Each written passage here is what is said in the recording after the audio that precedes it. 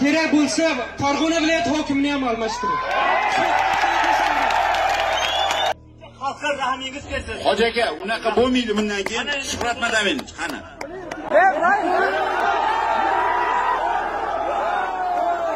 To'rtinchi masala shu xalqni hokimiyat shu yerni hokimiyatiga ishonchi qolmagan.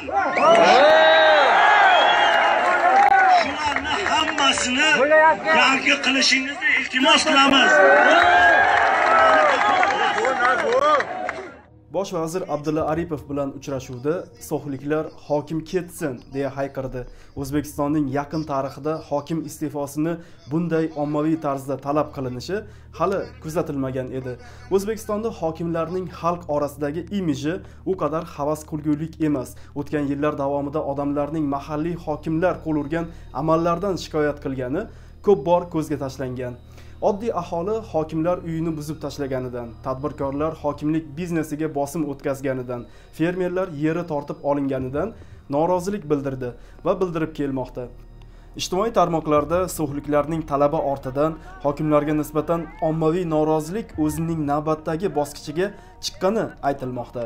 So'x aholisi qonunga zid bo'lsa-da hatto viloyat hokimi shuhrat g'aniyevni toshbo'ron qilishgacha ham yetib bordi.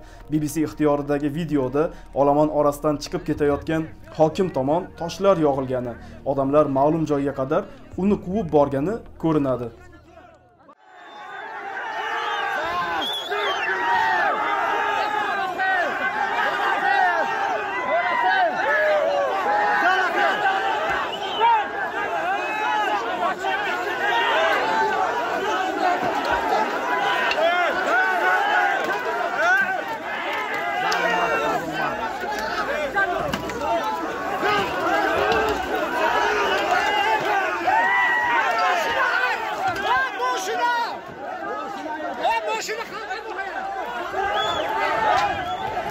Zar onlar.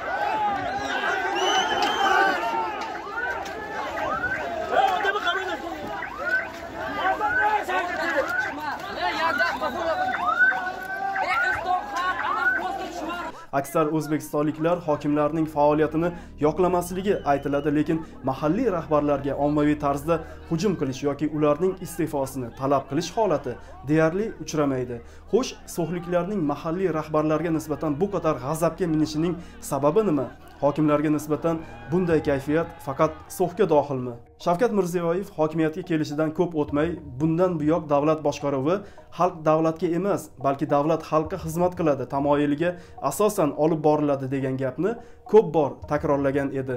Biroq faollar va jamoatchilik hokimlarning mushtumzo'rlikka asoslangan ish uslubi hali amalda ekanini ta'kidlab keladilar.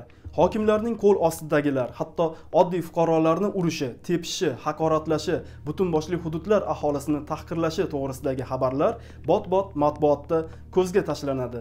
Faollar ko'p yillardan buyon hokimlarning xalq irodasini inobatga olmasligi o'z vakolatidan bemalol chetga chiqishi ommaning mahalliy ma'muriyat faoliyatiga ta'sir o'tkaza olmasligi hamda hokimlarning ko'p hollarda xalqdan uzilib qolganiga sabab sifatida mahalliy rahbarlarning bevosita aholi tomonidan saylanmasligini ko'rsatib keladilar. Sodda qilib aytganda ular hokimlar yuqoridan tayinlanishi va shunchaki mahalliy kengashlar tomonidan tasdiqdan o'tishi tufayli ham o'zi rahbar bo'lgan hududda o'ziga xon ko'lankasi maydon bo'lib olganini ta'kidlaydilar. Birinchi iyun kuni ijtimoiy tarmoqlarda farg'ona viloyati hokimi shuhrat g'aniyevga tegishli ekani ishonilgan audio yozuv tarqaldi. Unda viloyat hokimi so'xda yuz bergan holat haqida gapira turib tuman aholisiga janjal ko'targan qishloqlarni xaritadan o'chirib qo'yish barcha ta'minotni to'xtatib qo'yish so'xliklar noshukur odamlar sarlavhali maqolani e'lon qilib yuborish mahalliy yigitlarni qamash bilan tahdid qilayotgani quloqqa chalinadi. Yana bir marta so'rayapman. Yetmish to'rttasini olib ketaymi farg'onaga olma. Bo'ladi bittalar. Mana kelishdik yana bir og'iz gap chiqsa endi man kelib o'tirmayman. Bo'ldi. Bilib qo'yinglar so'xliklar noshukur odamlar deb turib maqola tayyor turibdi gazetada bugun televizorda ketsinmi farg'ona televizorasi yo'q yo'q. Noshukurchilik qilmasin. Qani lemburdan kim kelgan?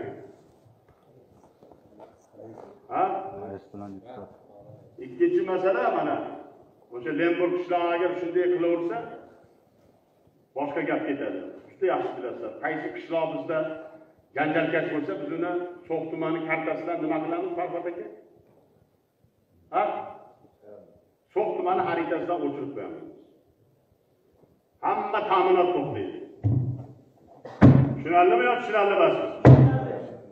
Oqibatda hokimning butun boshli qishloqlarni xaritadan o'chirib tashlash odamlarni sudsiz qamatib yuborishga qanchalik vakolati bor ekani borasida keskin savollar yuzaga chiqqan so'xliklar g'aniyevning bu gaplaridan qattiq g'azab otiga minganlar.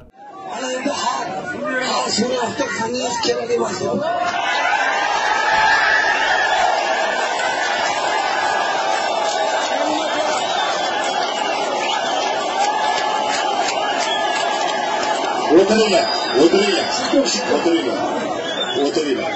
Nima uchun bilasizmi? hop g'aniyevga hurmat qilardi. G'aniyev kelib bir yerda kelib bizni xaritaga o'chirib tashlaman debdi. Tojikistonga. Mana, yo'l to'g'rimi?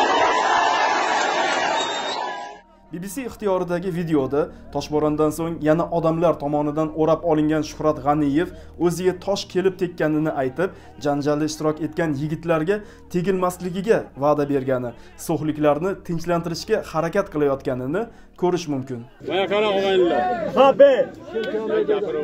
Ha, gapiring, gapiring.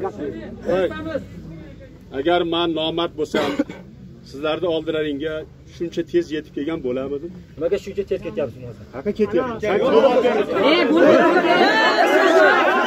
Bo'ldi, bo'ldi, bo'ldi. Bo'ldi, bo'ldi. mana qara. Man hech qayerga ketganim yo'q man hech qayerga ketmayman mani o'ligim ham tirigim ham shu yerda man afg'onda xizmat qilgan odamman faqatgina bir nomard majdimga yomon tosh otdida Ke- mani yaralashni nima keragi bor pistolet bilan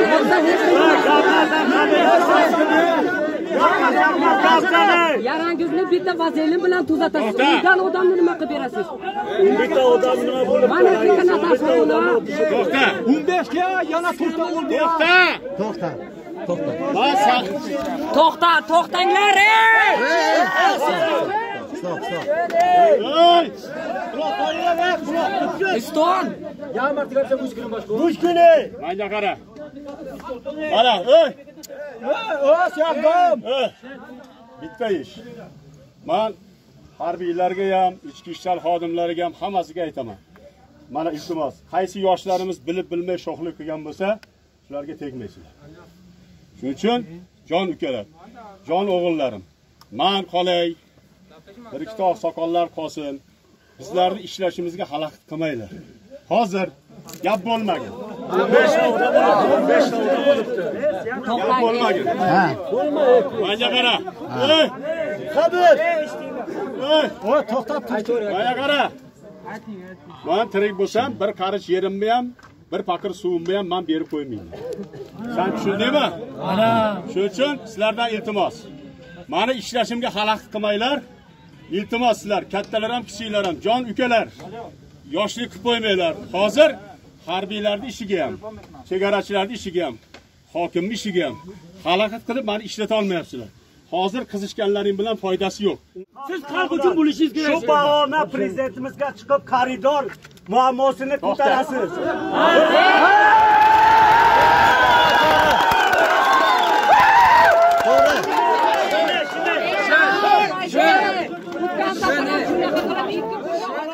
G'aniyevning o'zi rahbar bo'lgan hudud aholisiga nisbatan bunday tahdid qilgani borasida hozircha biror rasmiy izoh berilmagan. Hokim bu safar ham faqat kechirim bilan qutulib qolishi yoki yo'qligi ham ayon emas. Birinchi iyun kungi muloqotda so'xliklar bosh vazir abdulla aripovdan o'zlariga boshqa hokim qo'yishni so'rab o'z nomzodlarini ilgari surganlar. Ammo bosh vazir bunga javoban rahbar tayinlash va davlatchilikning o'z tartib qoidalari borligini eslatgan aholidan bosim o'tkazmaslikni so'ragan.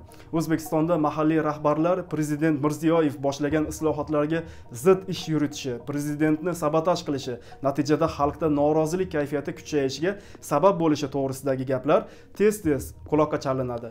Hokimlar ko'p vaqtini xalq dardiga quloq tutish emas balki yuqoridan kelgan topshiriqlarni bajarishga sarflashi tufayli ham ularning xalq oldida javobgarlik va mas'uliyat hissi past ekani ko'p takrorlanadi. Hatto bir vaqtlar hokimlar mening odamlarim degan prezident mirziyoyevning o'zi ham shu yilning yanvar oyida mahalliy rahbarlarga ko'p vakolatlar berib yuborilganini tan olib ularning faoliyatini nazorat qilish bo'yicha yangi tizim yaratish shartligini ta'kidlagan edi. Prezidentlikka ilk saylangan kunlaridanoq shavkat mirziyoyev mahalliy hokimliklarga saylovlarni tashkil etish tizimini yaratish haqida so'z ochgan.